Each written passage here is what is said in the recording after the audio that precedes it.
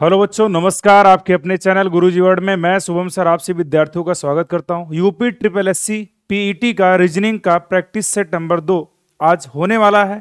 तो सभी विद्यार्थी हमारे इस वीडियो को ज़्यादा से ज़्यादा आप सभी विद्यार्थी शेयर कर देंगे। और आज हम लोग देखने वाले हैं प्रीवियस पेपर जो भी पूछे गए हैं रीजनिंग के।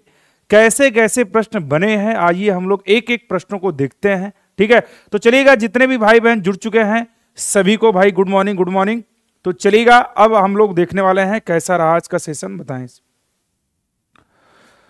तो एक शानदार लाइन आप लोगों के लिए है मेरे साथी कि कामयाब कामयाबी वो जादुई मरहम है जो दुनिया के तानों से मिले घावों को पल भर में भर देती है। क्लियर है? यानी आप अगर संघर्ष कर रहे हैं और कामयाबी मिल जा रही है ठीक है? तो जितने भी परे, जितने भी परेशानियाँ हैं जितने भी ताने हैं हर चीज़ को ढक देती है। क्लियर तो हमें केवल और केवल क्या करना है? केवल पढ़ाई से मतलब रखना है और हमें लाइफ में आगे बढ़ना है। चलिए रीजनिंग का प्रैक्टिस सेट दो होने वाला है पीवाईक्यू यानी प्रीवियस ईयर क्वेश्चन के माध्यम से हम लोग प्रश्नों को देखने वाले हैं। चलिएगा। आज के जो भी प्रश्न लिए गए हैं मेरे साथी, सब आपके 2018 2020 जो भी पुराने पेपर हुए हैं UP triple S C PET के, उसको हम लोग देखने वाले हैं। कुछ नए प्री प्रश्न हैं, कुछ जो है पुराने भी प्रश्न हैं एक एक प्रश्नों को हम देखने वाले हैं। बताइएगा। बताइए। बोला है, दिए गए विकल्पों में से संबंधित शब्द का चयन कीजिए, यानी पक्षी विज्ञानी, पक्षी नृविज्ञानी बताइएगा। हाँ। यानी ये कहना ये चाह रहा है कि पक्षी विज्ञानी का संबंध जैसे पक्षी से है, उसी तरह से आप बताइएगा कि नृविज्ञानी जो होता है नृविज्ञानी जो होता है, आर्थोपोलॉजिस्ट होता है, आर्थोपोलॉजिस्ट आर्थोपोलॉजिस्ट जो होता है, उसका संबंध किससे होता है? क्या प्लांट से होता है, पौधे से होता है? बिल्कुल नहीं मेरे साथी। क्या पशुओं से होता है एनिमल से होता है? बिल्कुल भी नहीं। इन्वायरमेंट पर्यावरण से होता है, बिल्कुल भी नहीं।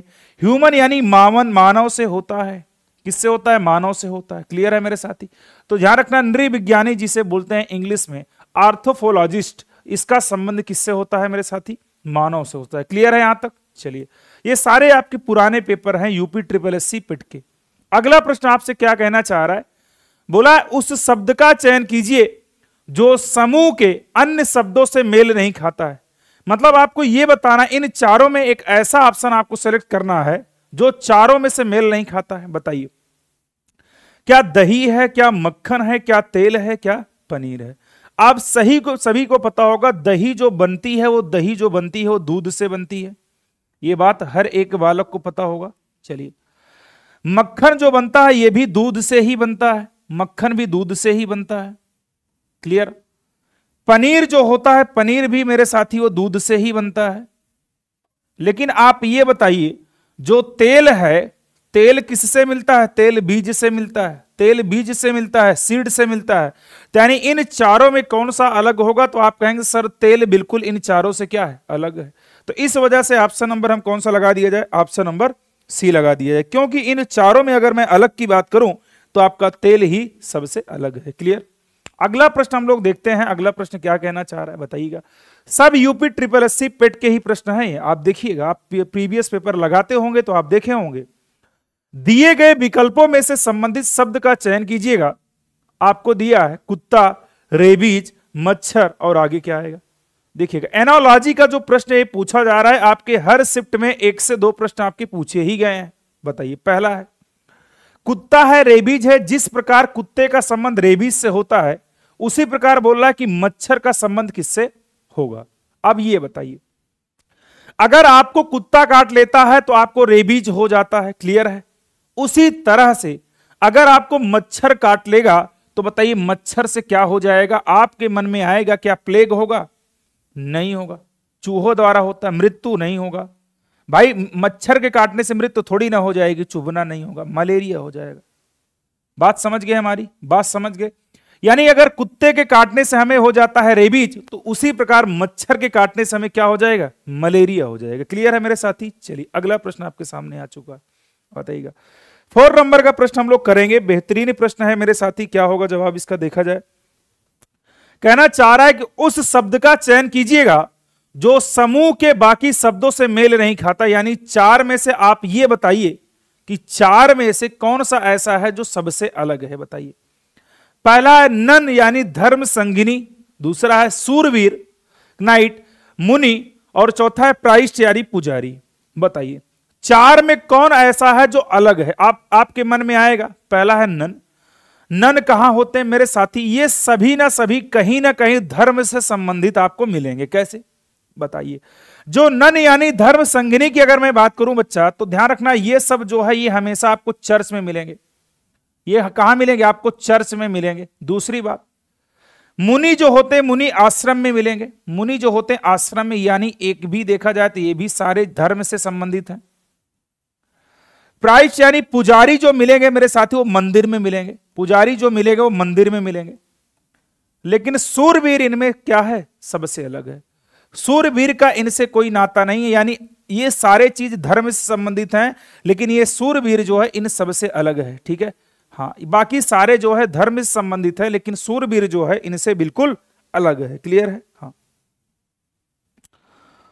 आइए अगला प्रश्न हम लोग देखते हैं। अगला प्रश्न क्या कहना चाह रहा है? देखा जाए, बताइए। बेहतरीन सवाल है, बताइए क्या कहना चाह रहा है? बोला है, किसी निश्चित कूट भाषा में प्रोडक्शन को यह लिखा जाता है तो उसी कूट भाषा में ओरिएंटेशन को किस प्रकार लिखा जाएगा? सबसे पहला काम जो भी दिया गया, उस मीनिंग को बढ़िया तरीके से हमें लिखना पड़ेगा। बताइए क्या क्या है?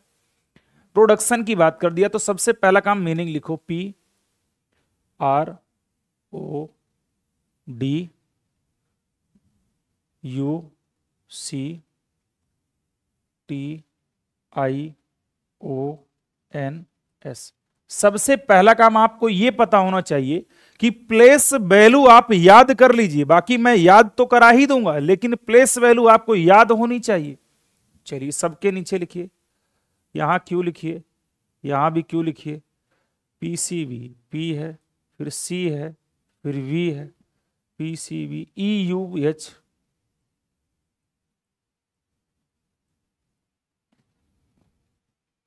P M T अब बताइए जब आपको ऐसा प्रश्न दिखे तो सबसे पहला काम आपको कोडिंग याद होनी चाहिए। यानी कोडिंग का मतलब है, सबका मान याद होना चाहिए। मान नहीं याद होगा तो आप नहीं बता पाओगे कैसे। यानी पी का मान होता है सोलह आर का मान होता है अट्ठारह क्यू ओ का मान होता है पंद्रह डी का मान होता है चार यू का मान होता है इक्कीस सी का मान होता है तीन टी का मान होता है बीस आई का मान होता है नौ ओ का मान होता है पंद्रह। आगे देखा जाए। यन का जो मान होता है वो चौदह होता है एस का मान जो होता है उन्नीस होता है उसी प्रकार सारे मान को नीचे भी लिख लिया जाए तो यहाँ देखिएगा क्यू का मान हो जाएगा सत्रह यहाँ भी सत्रह पी का मान हो जाएगा सोलह सी का मान हो जाएगा तीन यू वी का मान हो जाएगा बाईस ई का मान हो जाएगा पाँच यू का मान हो जाएगा इक्कीस एच का मान हो जाएगा आठ पी का मान हो जाएगा सोलह एम का मान हो जाएगा तेरह टी का मान हो जाएगा बीस सबसे पहला काम बच्चों ये पता होना चाहिए कि हमें प्लेस वैल्यू पता होनी चाहिए। बिना प्लेस वैल्यू के हम रीजनिंग को बिल्कुल भी सॉल्व नहीं कर सकते। क्योंकि रीजनिंग की रीढ़ की हड्डी मैं बोल सकता हूँ, रीढ़ की हड्डी है ये सब। बताओ। चलो। अब आप देख रहे होंगे कि सर 16 से 17 हुआ है तो यहाँ एक प्लस एक हुआ है। बोलो हाँ या ना। 18 से 17 हुआ है तो बताइए, आप कहोगे सर माइनस वन हुआ है। बिल्कुल सही बात। 15 से एक 16 हुआ है तो आप देखो प्लस वन हुआ है कि नहीं हुआ। चार से तीन हुआ है तो बताओ माइनस वन हुआ है कि नहीं हुआ? बताओ। उसी तरह से देखो 21 से 22 हुआ है तो बताओ प्लस वन हुआ है हुआ है ना? बताओ, तीन, यहाँ देखो तीन पाँच हुआ तो यहाँ देखो दो बढ़ गया। यहाँ दो बढ़ चुका है, आगे देखा जाए। बीस से इक्कीस हुआ है तो मेरे साथी यहाँ भी एक बढ़ा है।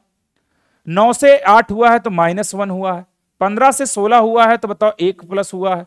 चौदह से तेरह हुआ है तो मेरे साथी माइनस वन हुआ है। उन्नीस से बीस हुआ है तो प्लस एक हुआ है। अब आपने देखा होगा कि सर मैंने जब कोडिंग डिकोडिंग बनाया तो मैंने सारे प्लेस वैल्यू को लिख दिया और हमें यह पता होगा कि जो क्वेश्चन हमारे बने हैं, उनको किस तरह से मुझे अरेंज करना है। तो चलिए, अब जो प्रश्न दिया गया, उस प्रश्न पर आते हैं और क्या लिखा है मेरे साथी? सेम वही प्रोसेस यहाँ भी करना है। क्या दिया है? ओरिएंटेशन की बात कर दिया है मेरे साथी तो ओरिएंटेशन लिख दो आप।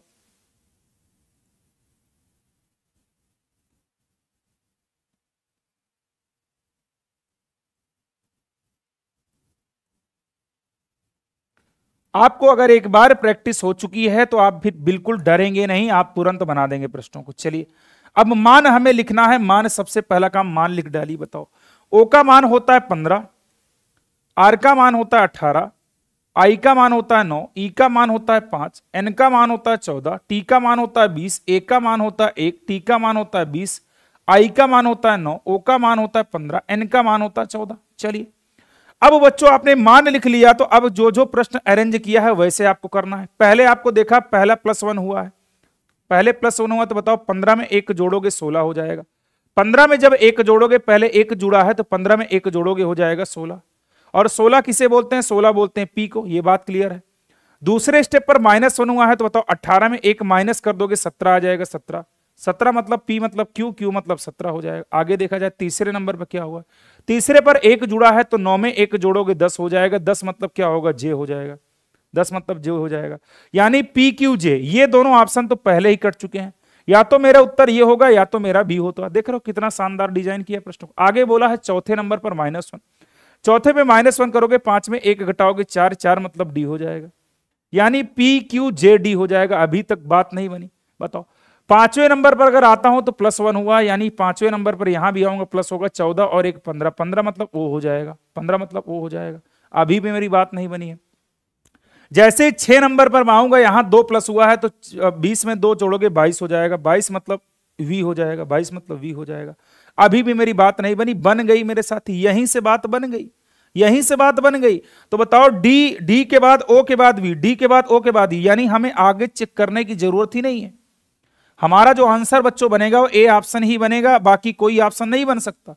तो P Q J D O V V के बाद मेरे साथी बी आ जाएगा बी के बाद यस आएगा यस के बाद जे आएगा जे के बाद एन आएगा एन के बाद ओ आ जाएगा। बस कुछ करना ही नहीं था, बस आप अरेंज कर लो और आपका आंसर आ जाएगा।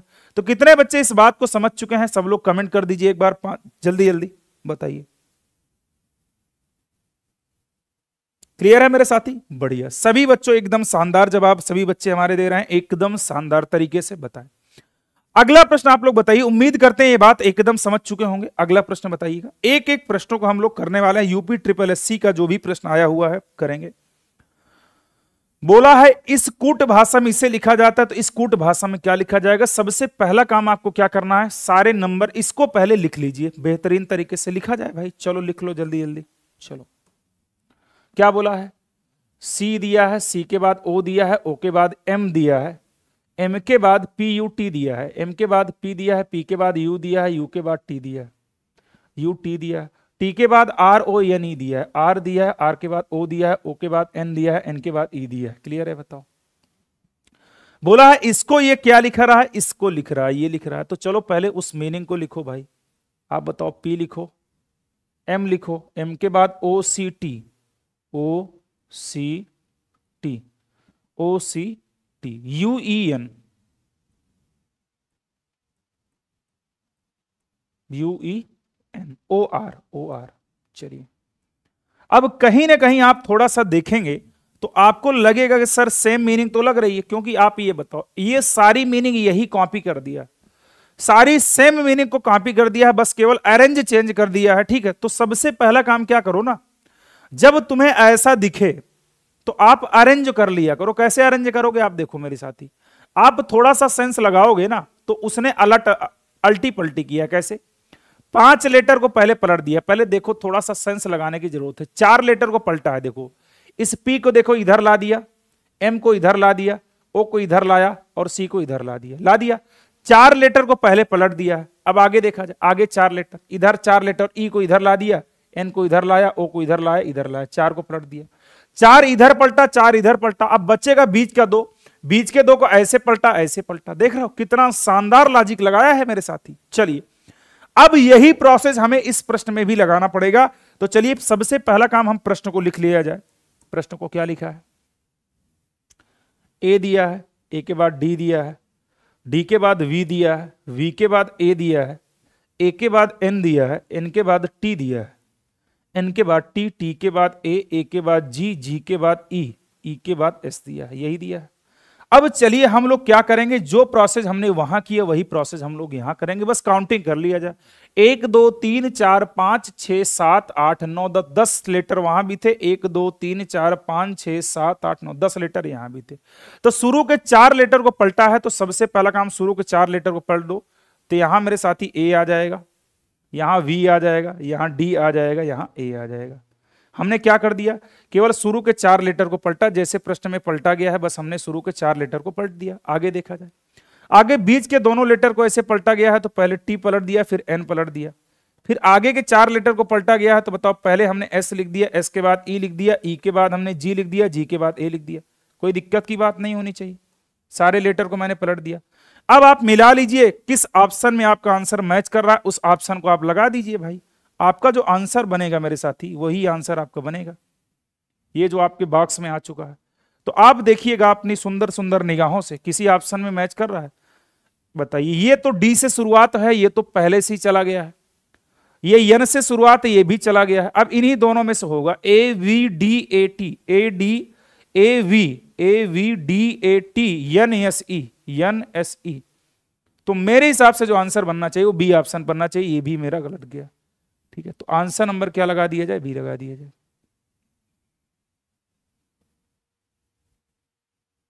क्लियर है मेरे साथी? बताएँ। यहाँ तक हर एक विद्यार्थी को क्लियर है? सभी बच्चे कमेंट कर दें जल्दी जल्दी बता दें भाई।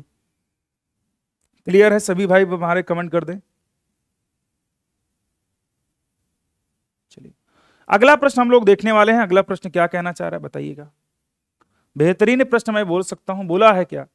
यदि किसी वर्ष में 25 अगस्त को गुरुवार है 25 अगस्त को गुरुवार है तो उस महीने में सोमवार की संख्या देखिएगा। उस महीने में सोमवार की संख्या क्या होगी? आप ये बताइए, अगस्त महीना 31 तारीख का होता है। तो चलिए, सबसे पहला काम जो डेट दिया है, उसके हिसाब से चलते हैं। तो आप ये बताओ, आप खुद सोचो मेरे साथी। 25 अगस्त की बात कर दिया इसने। अब आप ये बताओ 25 अगस्त को ये गुरुवार का मतलब 25 अगस्त को ये बृहस्पतिवार है। गुरुवार ही चलो रख देते हैं, गुरुवार, चलो।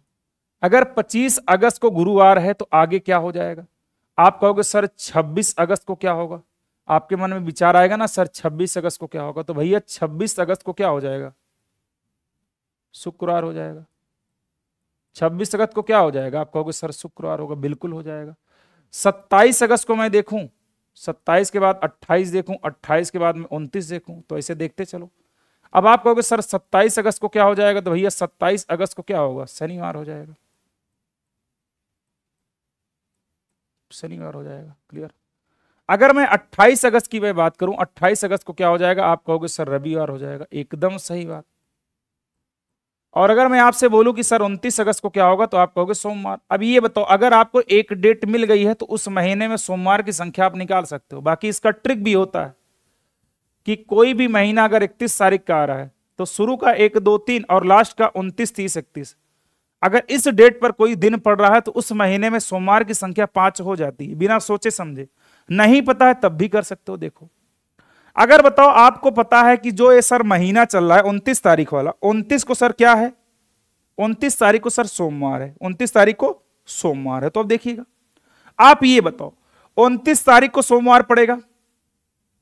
उनतीस से सात माइनस कर दो, बाईस तारीख को सोमवार पड़ेगा। बाईस से सात माइनस कर दो, पंद्रह तारीख को सोमवार पड़ेगा। पंद्रह से सात माइनस करोगे तो क्या हो जाएगा? आठ तारीख को सोमवार पड़ेगा। और आठ के बाद सात माइनस करोगे, एक तारीख को सोमवार पड़ेगा। यानी बच्चों, हम कह सकते हैं उनतीस तारीख को मंडे मिलेगा, बाईस को मंडे मिलेगा, पंद्रह को मंडे मिलेगा, आठ को मंडे मिलेगा और एक को मंडे मिलेगा। तो यानी उस महीने में सोमवार की संख्या अगर मैं आपसे बोलूँ तो आप क्या लगा दोगे? ऑप्शन नंबर सी को लगा दोगे। क्लियर है? हाँ। यानी सोमवार की संख्या जो हो जाएगी मेरे साथी, वो पाँच हो जाएगी। क्लियर है यहाँ तक? कोई दिक्कत की बात? बिल्कुल। अगला प्रश्न आप बताएँगे, कैलेंडर का सवाल है, बेहतरीन सवाल पूछा गया था। अगला प्रश्न ये भी कैलेंडर का ही प्रश्न लिया गया है, बोला क्या है इसने?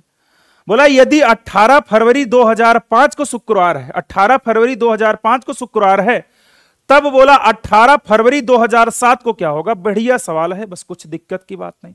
प्रश्न को पहले समझना है, फिर प्रश्न को बना देना है, कैसे देखिए। 18 फरवरी 2005 अच्छा ये बताइए 18 फरवरी किसने बात कर दिया? आप बताओ 18 फरवरी 2005 की इसने बात कर दिया। पहले ऐसा करो ना। चलो, ऐसे ही लिख दे रहे हैं। 18 फरवरी 2005 तो 18 फरवरी 2005 को कौन सा दिन दे रहा है ये? शुक्रवार दे रहा है। 18 फरवरी 2005 को कौन सा दिन दे रहा है? शुक्रवार। देखिए, ऐसे सवालों को पलक झपकते आंसर लगाना है। कोई भी बेसिक उसिक मत लगाना। 18 फरवरी 2007 बोला है डेट कोई चेंज नहीं हुई है। डेट नहीं चेंज है केवल ईयर चेंज है। 18 फरवरी 2007 को कौन सा दिन है? अच्छा आप थोड़ा सा दिमाग लगाना है। हमें काफ़ी बच्चे इसमें कैलेंडर पढ़ भी चुके होंगे। अगर हमें डेट पता है सेम है और ईयर चेंज है। आप सभी को पता है ईयर हमारा क्या है? चेंज है। तो कोई दिक्कत की बात नहीं। अच्छा ये बताओ। 2005 से अगर बच्चों में आता हूँ तो 2005 से 2006 में आऊँगा। तो 2006 मेरा साधारण वर्ष होगा। 2007 भी मैं, बताओ 2005 से 2006 में साधारण वर्ष 2006 से 2007 में साधारण वर्ष, बताओ। अब आप ये बताइए, अगर साधारण वर्ष बीच में पड़ रहा है तो उसमें एक केवल जुड़ेगा, यानी इस दोनों, यही दो ईयर तो इन दोनों के बीच में आएँगे, पाँच के बाद पाँच से छह छह के बाद सात तो यही दोनों तो आएँगे। यानी अगर दोनों साधारण वर्ष हैं तो इसमें कितना जुड़ जाएगा? दो जुड़ेगा। अब आप बता दो कैसे? भाई, कुछ मत करो, इस शुक्रवार में केवल और केवल आप दो जोड़ दो, आपका आंसर आ जाएगा। कहोगे, सर, इतना आसान? बिल्कुल भाई तो शुक्रवार और दो जोड़ोगे, रविवार हो जाएगा। यानी जिन बच्चों ने आंसर रविवार दिया है, वो एकदम सही है। उसमें कोई डाउट की बात नहीं है। यानी जो बच्चे रविवार आंसर को क्रिया हैं, वो एकदम सही जवाब दे रहे हैं। क्लियर है? हाँ। ठीक है? हाँ। कभी भी ध्यान देना, साधारण वर्ष का अगर ज़िक्र करेगा, ऐसे सवालों में तो आप केवल और केवल एक जोड़ देंगे। क्लियर है भाई? चलिए। तो ऑप्शन नंबर बच्चों, हम क्या कर देंगे? एक लगा देंगे, यानी रविवार इस प्रश्न का बिल्कुल करेक्ट आंसर हो जाएगा। कोई सोचना था इसमें बताओ? कोई दिमाग लगाना था क्या? नहीं लगाना था। चलो, एक सवाल कैलेंडर का और देखा जाए। बताइए। देखिए, जो आपके पेट में पूछे गए प्रश्न हैं, पहले उन्हीं प्रश्नों को मैं चर्चा कर रहा हूँ, ताकि आपको यह पता चले कि प्रश्न का नेचर पूछा कैसे जाता है। बताइए। बोला, एक जनवरी 2006 को रविवार था। तो एक जनवरी 2010 को सप्ताह का कौन सा दिन था? नो, कोई दिक्कत की बात नहीं। डेट सेम है, ईयर अलग अलग है। डेट सेम, ईयर अलग। और ऐसा सबसे ज़्यादा यूपी ट्रिपल एस पूछता है। तो सबका शॉर्ट ट्रिक है मेरे भाई, बताओ, देखो आपको पता सर, एक जनवरी 2006 की बात कर दिया। अब आप बताओ। एक जनवरी 2006 की बात कर दिया, यानी एक जनवरी 2006 को इसने बोला क्या है कि सर, एक जनवरी 2006 को जो दिन था, वो सर दिन था रविवार का। जो दिन था, वो दिन कौन सा था? रविवार का। आगे देखा जाए क्या कहना चाह रहा है। बोला, एक जनवरी 2010 को कौन सा दिन था? डेट कोई चेंज नहीं, बस ईयर हमारा चेंज है। एक जनवरी 2010 की बात कर दिया।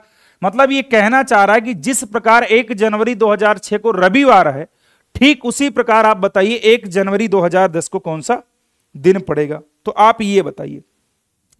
आपके मन में ख्याल क्या आएगा? ख्याल मैं बता दूँ। कहोगे, सर, ईयर कौन कौन सा बीच में पड़ रहा है? तो आपके मन में आएगा, सर 2006 के बाद बीच में 2007 पड़ रहा है। एकदम सही बात आपने कहा। 2007 के बाद बच्चों 2008 पढ़ रहा है।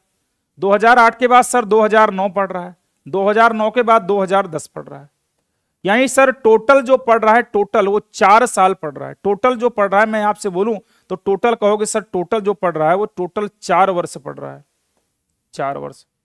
लेकिन प्रॉब्लम ये है ना, कि सर, प्रश्न को सॉल्व कैसे करें? दिक्कत तो इस बात की फंस जाती है, कि सर, दो, एक जनवरी 2006 को तो रविवार दिया, लेकिन एक जनवरी 2010 को कैसे निकालें?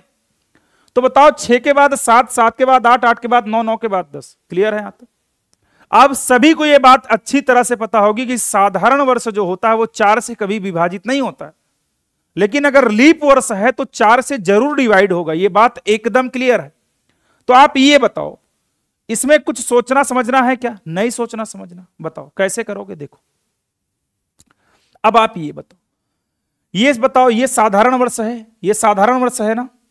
ये भी साधारण वर्ष है, ये भी साधारण वर्ष है, लेकिन ये जो है लीप वर्ष है ये 2008 ये चार से विभाजित है। अगर जो नंबर चार से विभाजित हो जाएगा, वो लीप वर्ष कहलाएगा। क्लियर है मेरे साथी? यहाँ तक तो कोई दिक्कत की बात नहीं। तो बीच में कितने साल पड़ा? बीच में कहोगे, सर, चार वर्ष पड़ा। चार वर्ष। तो चार वर्ष में आपने देखा होगा कि, सर, चार वर्ष में जो हमारा आया है, वो तीन साधारण वर्ष आया है। तीन जो आया है, वो साधारण वर्ष आया है।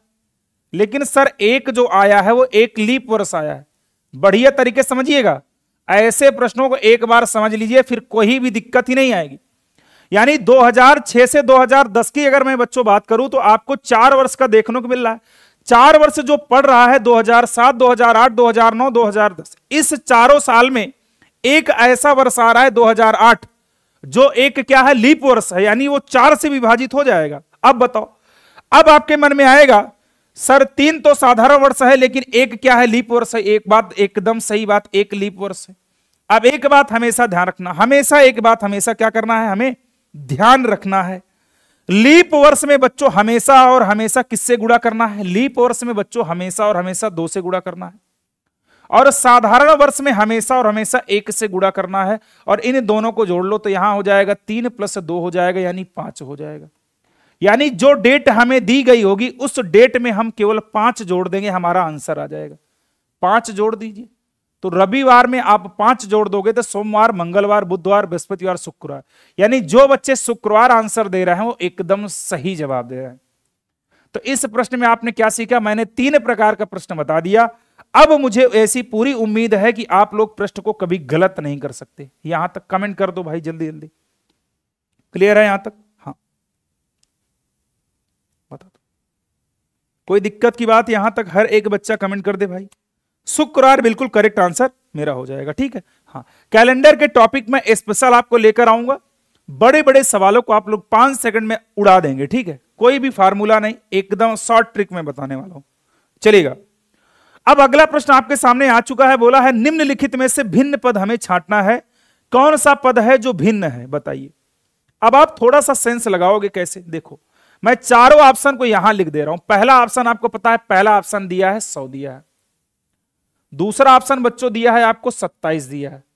और तीसरा ऑप्शन जो दिया है, वो आपको दिया है 125 दिया है। और चौथा जो ऑप्शन डी वाला ऑप्शन दिया है, वो डी वाला ऑप्शन दिया है, तीन दिया है। अब आप ये बताइए, इन चारों ऑप्शन में आपको ये देखना होगा कि कौन सा ऐसा ऑप्शन है जो चारों में अलग है। तो आप कहोगे, सर 27 जो होता है वो वो सर तीन का क्यूब होता है। ये बात एकदम क्लियर है।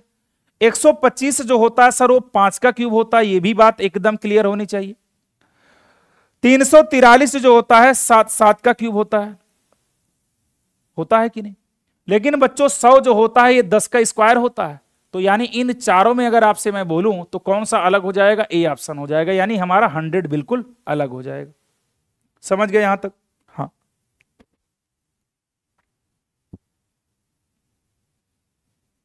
चलिए अगला प्रश्न आप लोग बताइएगा, अगला प्रश्न क्या कहना चाह रहा है? सभी बच्चे बताएँगे, अगला प्रश्न क्या है? ग्यारह नंबर प्रश्न आपके सामने आ चुका है, कोडिंग डिकोडिंग का ही भी प्रश्न है ये, चलिए देखा जाए। बोला, यदि नॉर्मल को ये लिखा जाता है तो हम गैदर को क्या लिखा जाएगा? सबसे पहला काम हम प्रश्नों को लिखेंगे। प्रश्नों को हम लिखेंगे, क्या दिया है? नॉर्मल दिया है। चलिए, नॉर्मल दिया है, क्या प्रश्न नॉर्मल है? देखा जाए भाई, नॉर्मल। चलिए, नॉर्मल को लिखा क्या गया है मेरे साथी? ये कोडेड लिखा है तो आर दिया है, आर के बाद इसने पी दिया है, पी के बाद इसने क्या दिया एन दिया है। इनके बाद इसने दिया है, एल दिया है। एल के बाद साथी दिया है, बी दिया है, बी के बाद साथी एच दिया है। कितने लेटर की है भाई? एक, दो, तीन तीन छः तीन तीन छः कोई दिक्कत की बात नहीं। अब सबसे पहला काम हमें ये देखना होगा कि सर क्या सेम लेटर है, इधर उधर है? क्या सर अरेंज चेंज है? थोड़ा सा हमें समझना पड़ेगा। तो थोड़ा सा आप दिमाग लगाइए, बस काम बन जाने वाला है, देखिएगा। आप देख रहे होंगे कि सर कहीं ना कहीं कुछ ना कुछ चीज़ तो है। क्योंकि आर सर यहाँ भी है, यन यहाँ भी है, थोड़ा सा सेंस लगाओ, यल यहाँ भी है। लगा दो दिमाग, आ गया भाई। इस तीसरे लेटर को यहाँ कॉर्नर पर कर दिया, इस वाले लेटर को यहाँ कर दिया, और ओ से पी कर दिया, यानी बीच वाले लेटर में क्या जोड़ा है? बीच वाले लेटर में प्लस वन कर दिया है। क्लियर है? अब आगे देखा जाए। इधर देखो, यल को सेम कर दिया है। यल को सेम कर दिया है। यल को क्या कर दिया? सेम कर दिया है। चलिए, यहाँ यम है मेरे साथी, बी के बाद यम है, यहाँ बी के बाद यम है, यहाँ बी के बाद क्या है मेरे साथी, एम है, ठीक है? नहीं तो पूरा अरेंज खराब हो जाएगा। अब देखो, यम है ना वहाँ, चलिए, अब सही हो जाएगा, देखो कैसे। यल यहाँ कर दिया, यम को यहाँ कर दिया, लेकिन बीच वाले लेटर को प्लस वन कर दिया, प्लस वन कर दिया, ठीक है? बीच वाले लेटर में केवल प्लस वन किया गया है, सेम प्रोसेस हमें इसमें भी करना पड़ेगा, साथी, चलो। अब चलो, हम प्रश्न पर आते हैं और इसको देखा जाए क्या कहना चाह रहा है। जी दिया है ए दिया है टी दिया है टी के बाद एच दिया है एच के बाद साथी ई दिया है ई के बाद साथी आर दिया है। अब सबसे पहला काम हमें क्या करना होगा? जैसे मैंने पहले वाले क्वेश्चन में किया है सेम वैसे प्रोसेस करेंगे। तीन तीन का बंटवारा अलग अलग कर देंगे क्योंकि टी जो है कॉर्नर पे है तो टी इधर आ जाएगा। ई e, जी को भी इधर कर दिया जाए कोई दिक्कत की बात नहीं। बीच वाले लेटर में केवल प्लस वन किया है तो ए में प्लस एक करोगे तो बी बन जाएगा यानी टी बी जी बन जाएगा। टी बी जी बन जाएगा। यानी इस हिसाब से मेरा आंसर ना तो बी हो सकता है, ना तो मेरा आंसर ये हो सकता है। या तो ए होगा, या तो डी हो जाएगा। चलो आगे देखा जाए। आर को साथी कार्नर पे कर दो और इस यच को साथी इस कार्नर पे कर दो। ई में साथी एक जोड़ दो तो ई एक जोड़ोगे तो ई के बाद एफ़ आ जाएगा। ई के बाद साथी क्या आएगा? एफ़ आ जाएगा। क्लियर है? यहाँ तक बताओ। उसके बाद जो ये लेटर लिखा गया, इस लेटर में क्या करना है? केवल और केवल नाम लिख लेना है, हमारा आंसर करेक्ट हो जाएगा। यानी जो बच्चे हमारे ये आंसर कर रहे हैं, वो एकदम सही दिए हैं। टी बी जी टी के बाद बी बी के बाद जी जी के बाद आर आर के बाद एफ़ एफ़ के बाद एच हो जाएगा। यानी ए ऑप्शन बिल्कुल बच्चों करेक्ट आंसर हो जाएगा और कुछ सोचना ही नहीं था। ए ऑप्शन बिल्कुल मेरे साथी करेक्ट हो जाने वाला है। क्लियर है भाई? सभी लोग बता दे जल्दी जल्दी। हाँ। सभी भाई बहन हमारे समझ चुके हैं इसका राइट आंसर क्लियर है? चलिए। अगला प्रश्न आप लोग देखेंगे, अगला प्रश्न क्या कहना चाह रहा है? बताइए। बोला, इनमें से बेजोड़ को चुनी है, यानी बेजोड़ मतलब चारों में से एक अलग चुनी है। बताइए क्या है? बताइए। अब बताओ। इन सारे नंबर दिए हैं, इनमें चार नंबर दिया है। ऑप्शन में हमें देखना है, चार में अलग कौन है। बताइए, तेरह संख्या जो है, अभाज्य संख्या है मेरे हिसाब से। प्राइम नंबर है। सत्रह भी मेरे हिसाब से अभाज्य है। पहले यहाँ लिख दे रहा हूँ, आपको यहाँ समझ में आएगा। ए ऑप्शन दिया है, ए ऑप्शन तेरह दिया है। तेरह। बी ऑप्शन दिया है क्या? B option. बी ऑप्शन दिया है, तेईस दिया है। सी ऑप्शन आपको क्या दिया है? सत्रह दिया है। डी ऑप्शन आपको क्या दिया है? तैतीस दिया है। अब आप खुद बताओ, ये सारे प्राइम नंबर की बात करें। तेरह जो है, तेरह हमारा अभाज्य संख्या है, जिसे प्राइम नंबर बोलते हैं। ये भी साथ ही हमारा अभाज्य संख्या हो गया। अभाज्य संख्या। यानी आभास संख्या के केवल और केवल दो गुणनखंड होते हैं। आभास संख्या ये भी हो चुका है।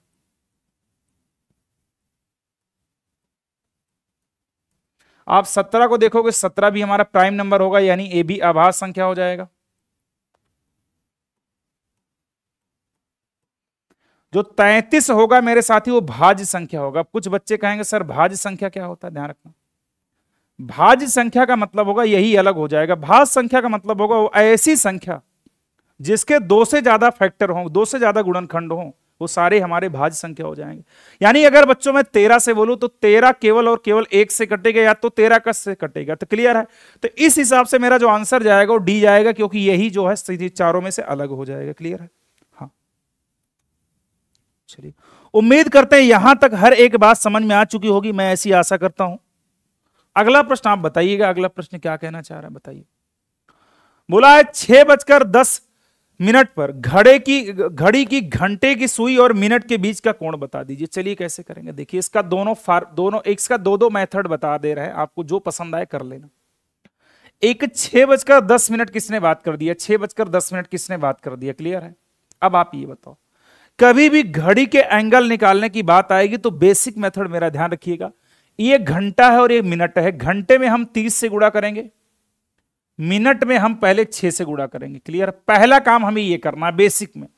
तो साठ का तीन में करेंगे तो तीन छंग अठारह, एक सौ अस्सी ये आ जाएगा। और यहाँ करेंगे साठ, ये आ जाएगा।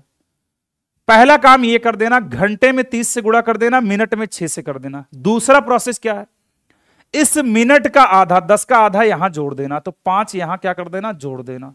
तो आप कहोगे, सर एक सौ पचासी आ जाएगा। और ये, सर, कितना आ जाएगा? एक सौ साठ आ जाएगा। तो कुछ मत करो, आपका आंसर आ चुका है मेरे साथी। इस मान में, इस मान को घटा दो। आप कहोगे, सर 185 में से जब हम 60 घटा देंगे तो सर 125 आएगा। बस आ गया आंसर। आपका आंसर आ चुका है। कुछ है क्या इसमें? नहीं है। आ चुका है। क्लियर है यहाँ तक? उम्मीद करते ये बात समझ में आ चुकी होगी। आपके मन में आएगा, सर, कोई दूसरा मेथड हो तो बता दीजिए। बिल्कुल है भाई। आपने प्राचीन काल से पढ़ा है, साठ एच डिफरेंस, ग्यारह यम बटे दो। पढ़ा है कि नहीं? बोलो हाँ या ना? जी, सर। घंटे को यहाँ रख दो, मिनट को यहाँ रख दो। तो चलो बताओ, कर दिया जाए। साठ का बच्चों, जब घंटा कितना दिया है? छह दिया है। डिफरेंस कर दो इसको। ग्यारह गुड़े। ग्यारह गुड़े। एम का मान मिनट कितना दिया है? दस दिया है। बटे क्या कर दिया जाए? दो कर दिया है। चलो बताओ। छह छंग हो जाएगा छत्तीस, यानी तीन सौ साठ। तीन सौ साठ में हम एक सौ दस घटा दें। बटे कर दें, साथी दो कर दें। तो इसको करोगे मेरे साथी तो आ जाएगा ज़ीरो। छह में से एक जाएगा पाँच, दो आ जाएगा दो सौ पचास बटा दो, यानी हमारा राइट आंसर यहाँ से भी एक सौ पच्चीस आ जाएगा।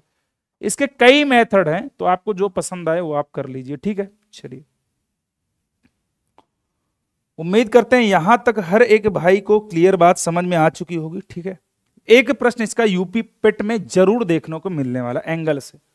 अगला प्रश्न फोर्टीन नंबर का प्रश्न हम लोग देखने वाले हैं, क्या कहना चाह रहा है, बताइए। बोला है, निम्नलिखित प्रश्न में दिए गए विकल्पों में भिन्न का चयन करिए यानी चारों में फिर अलग छाटिए ठीक है, हर शिफ्ट में एक सवाल पूछा गया तो चार में तुम्हें अगर अलग छांटना हो तो क्या छांटोगे बताओ? क्या छांटोगे? बताओ। 701 जो संख्या है, ये अभाज्य संख्या है मेरे साथी, ये किसी से कटेगी ही नहीं। ये एक से कटेगी या खुद से कटेगी? ये भी प्राइम नंबर है। इधर देख लो, मैं इधर बता दे रहा हूँ। जो 701 दिया है ना 701 दिया है।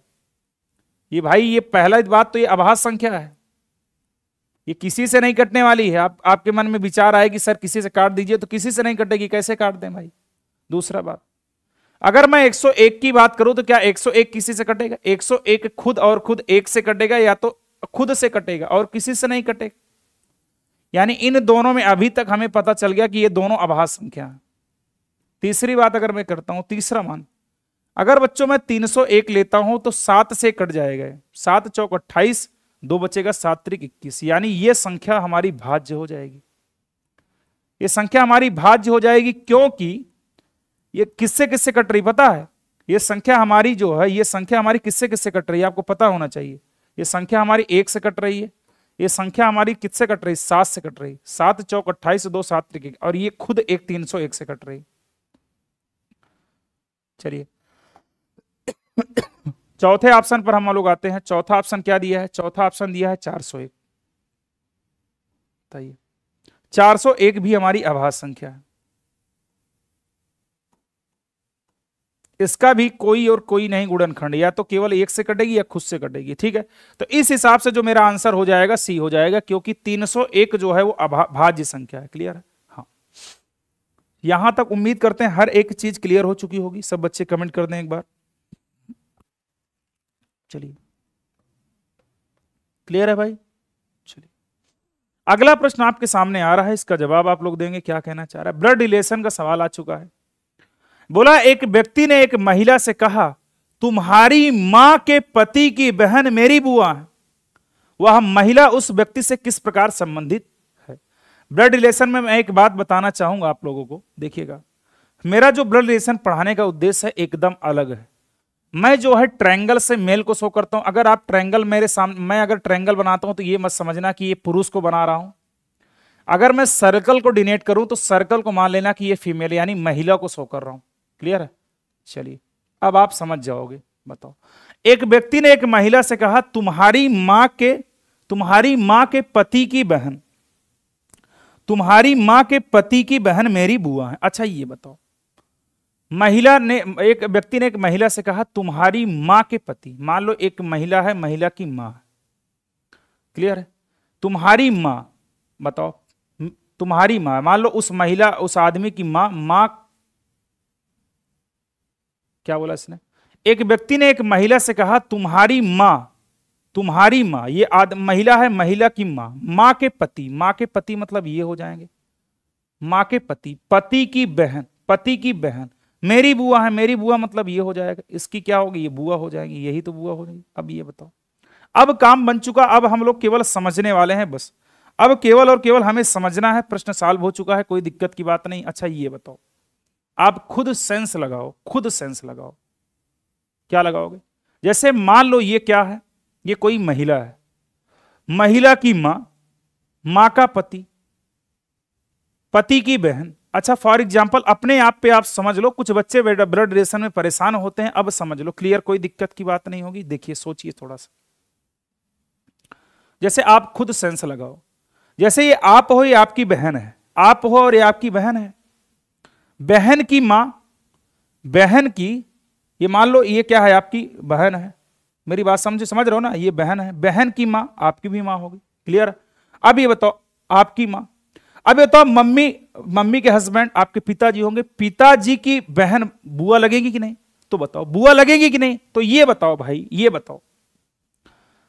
अब आप, उसने कहा कि वह महिला उस व्यक्ति से किस प्रकार संबंधित है? तो महिला उस व्यक्ति से किस प्रकार संबंधित है? आप बता दो जल्दी जल्दी। महिला जो है, वो व्यक्ति से किस प्रकार संबंधित है? बताओ। हाँ बताओ जल्दी जल्दी।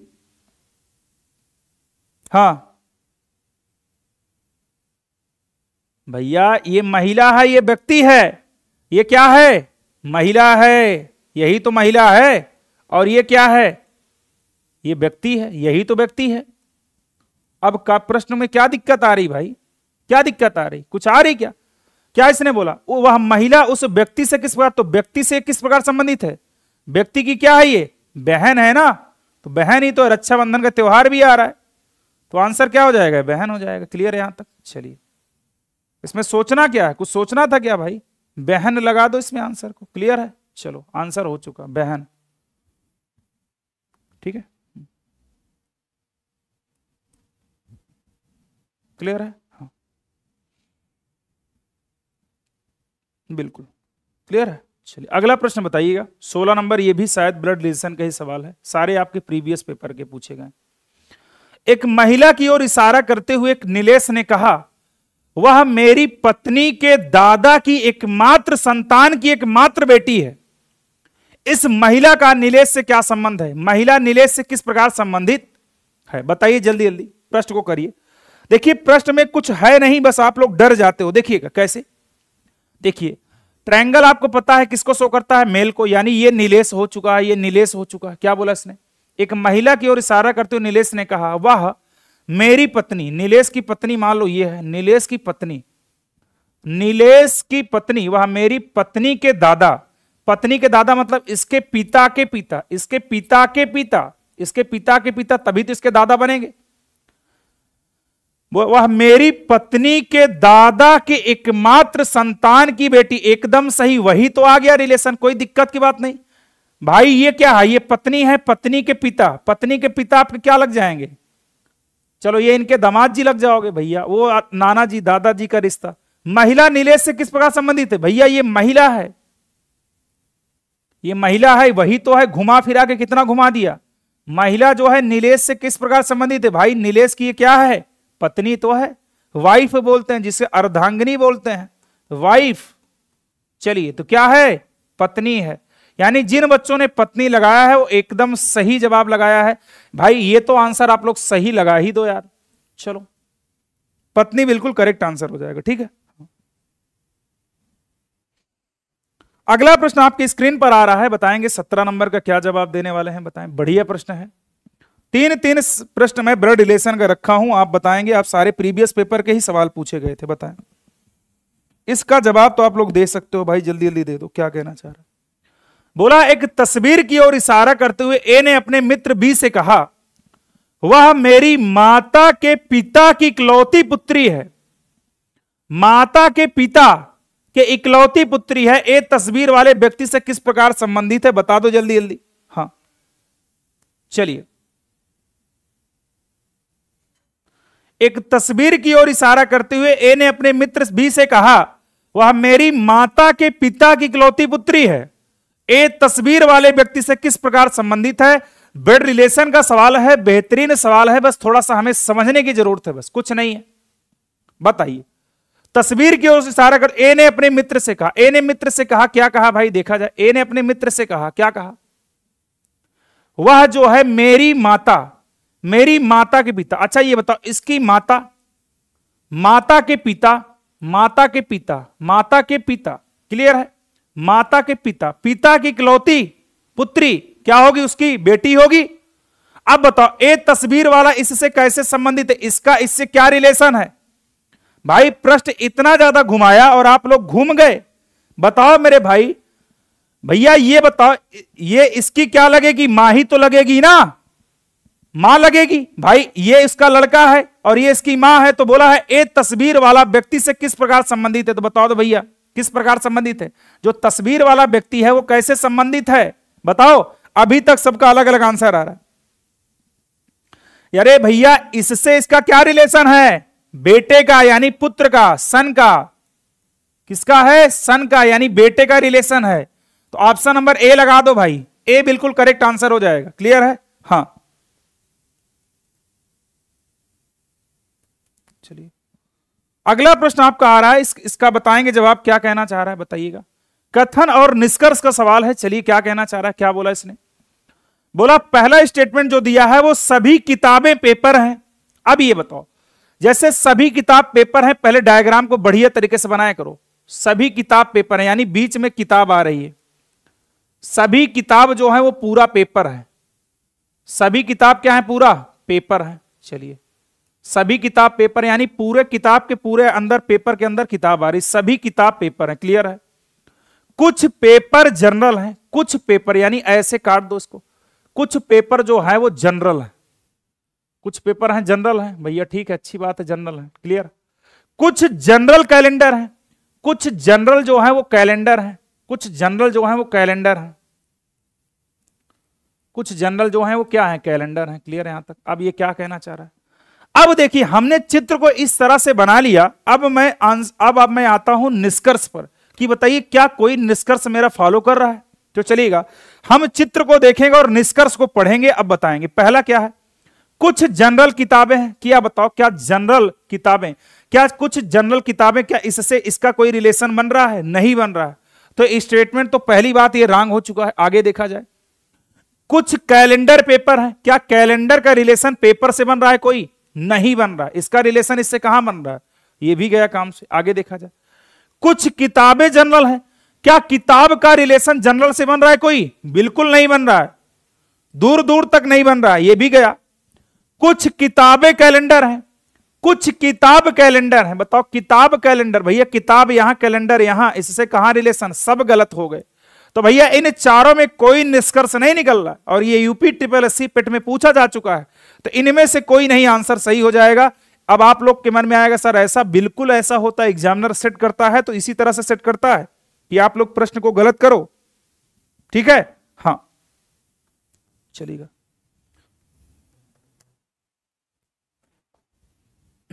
अगला प्रश्न आप लोग बताएँगे 19 नंबर क्या कहना चाह रहा है? बताएँगे 19 नंबर। हाँ। 19 नंबर का जवाब आप लोग देंगे। देखिए कथन का सवाल आता है, कथन और कारण यानी प्रभाव का सवाल पढ़ना है। देखिए, उसमें ज़्यादा दिमाग मत लगाना। पहले पढ़िए स्टेटमेंट क्या कहना चाह रहा कथन क्या कह रहा लैपटॉप निर्माण कंपनियों ने हाल ही में लैपटॉप की कीमतों में वृद्धि कर दी है, ठीक है? दूसरा स्टेटमेंट क्या बोला इसने? सरकार ने हाल ही में लैपटॉपों पर शुल्क लगाया। अच्छा ये बताइए, थोड़ा सा सेंस लगाइए। जैसे आप दैनिक जीवन में मैं आपसे बोलूँ कि जब जीएसटी लगा था जीएसटी जब सरकार लगाई तो आपने देखा होगा जो टी शर्ट तीन सौ की मिलती थी, वो टी शर्ट साढ़े तीन सौ की मिलने लगी। दुकानदार ने उसका मूल्य क्यों बढ़ा दिया? क्योंकि सरकार ने उस पर जीएसटी लगा दिया। सेम वही प्रोसेस इसमें भी है। अच्छा ये बताओ। लैपटॉप निर्माण कंपनी ने जब लैपटॉप की कीमत में वृद्धि की होगी तो इसका मतलब यह सोचिए कि दुकानदार पर सरकार ने कोई ना कोई टैक्स ज़रूर लगाया होगा। जब सरकार टैक्स लगाएगी तो दुकानदार की मजबूरी बन जाएगी कीमत बढ़ाने की। तो ये बताओ। यानी ये बताओ, सरकार ने हाल ही में लैपटॉप पर शुल्क लगाया। लैपटॉप पर शुल्क लगाया, ठीक है? यानी ये तो कारण हो चुका है। यही कारण है। ये कारण ना होता, अगर ये सरकार ना करती तो लैपटॉप का मूल्य कभी बढ़ता ही नहीं। सरकार ने टैक्स लगाया, तभी कीमत बढ़ी है। तो ये तो कारण है। और ये क्या है? प्रभाव है। थोड़ा सा सेंस लगा दो, काम बन जाएगा। मेरे साथी बता दो, अगर सरकार ने लैपटॉप की पर शुल्क ना लगाता, लैपटॉप पर शुल्क ना लगाता तो क्या बताओ, दुकानदार कीमत बढ़ाता? बिल्कुल नहीं बढ़ाता। तो बस अब काम बन गया हमारा। बताओ। अब बताओ, पहला है, कथन फ़र्स्ट कारण है। कथन फ़र्स्ट कारण नहीं है, प्रभाव है। तो ये तो गया काम से। बोला है, कथन सेकंड कारण है और कथन फ़र्स्ट इसका प्रभाव है। एकदम सही बात भी ऑप्शन बोला है। ठीक है? और कोई ऑप्शन चेक करने की क्या है ज़रूरत ही नहीं, ठीक है?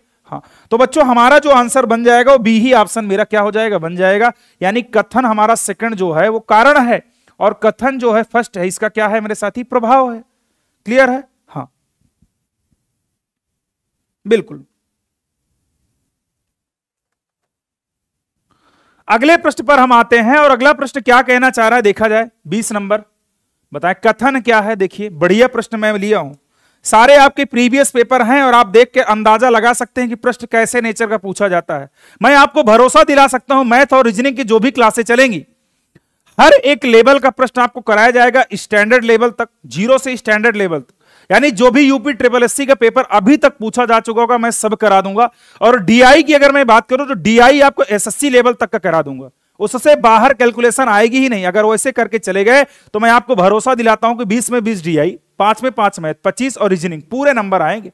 ठीक है? चलो, केवल आप प्रैक्टिस करो बस। अब देखो, कथन की बात कर दिया कथन में पहला स्टेटमेंट इसने क्या दिया? पुलिस प्राधिकरण ने हाल ही में सतर्कता बढ़ा दी है। चलिए दूसरा पढ़ा जाए। शहर में छोटे मोटे अपराध की घटनाओं में काफ़ी कमी आ गई। अच्छा ये बताओ। आप अपने गाँव समाज में रहते होंगे।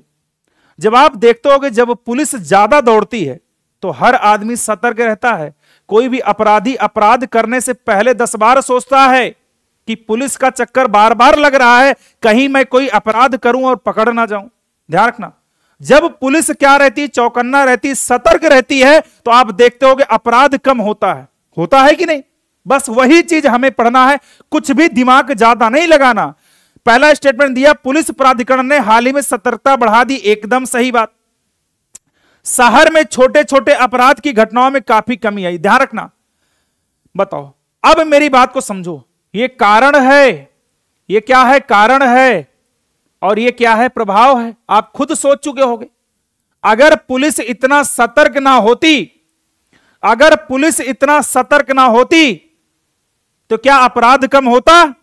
आप कहोगे, नो, सर इस वजह से अगर पुलिस का सतर्क रहना ज़रूरी है, अगर पुलिस सतर्क है तो अपराध बिल्कुल शहर में हो ही नहीं सकता। तो अपराध कम होने का कारण क्या है? पुलिस चौकन्ना है, सतर्क है। पुलिस क्या है? चौकन्ना है। अगर पुलिस सतर्क है तो अपराध नो ही, अपराध हो ही ही नहीं। तो कारण इसका क्या है? अपराध कम होने का कारण? पुलिस जो है चौकन्ना है। तो यानी हम इस स्टेटमेंट के हिसाब से आंसर देंगे तो क्या हो जाएगा? पहला कथन फ़र्स्ट कारण है और कथन सेकंड इसका क्या है? प्रभाव एकदम सही ए ऑप्शन को लगा दो, कुछ सोचना ही नहीं। उम्मीद करते हैं कथन और कारण के सवाल एकदम समझ चुके होंगे और मैं इसके हंड्रेड हंड्रेड सवाल आपको करा दूँगा, कोई भी टेंशन की ज़रूरत ही नहीं है। हर प्रकार के आपको सवाल करके जाओगे। चलिए, यहाँ तक सभी बच्चे बता दें, क्या यह बात एकदम समझ में आ गई कि नहीं बताएँ? हाँ। यहाँ तक हर एक विद्यार्थी को समझ में आ गई ये बात कि नहीं? सभी बच्चे हमारे जो भी यूपी ट्रिपल एससी के जो भी भाई बहन जुड़े हैं, बताओ ये बात एकदम समझ में आ गई कि नहीं? अगर सभी बच्चों को आ चुकी है तो एक बार कमेंट ज़रूर कर देंगे। आज का सेशन मैं बस यहीं तक रखता हूँ। और आपको अगर सेशन रीजनिंग का पसंद आएगा तो ज़रूर आप लोग लाइक करिएगा, सेशन को शेयर करिएगा। और जो भी विद्यार्थी नए होंगे इस चैनल को सब्सक्राइब कर दीजिएगा। और कैसी लगी क्लास? इसके बारे में फीडबैक ज़रूर दीजिएगा कि आपको यह सेशन पसंद आया कि नहीं, ठीक है? तो चलेगा फिर आपको नेक्स्ट क्लास में मिलते हैं। तब तक के लिए आप लोग स्वस्थ रहिए, मस्त रहिए और सभी बच्चों के माता पिता को मेरी तरफ़ से प्रणाम है। जय हिंद, वंदे मातरम।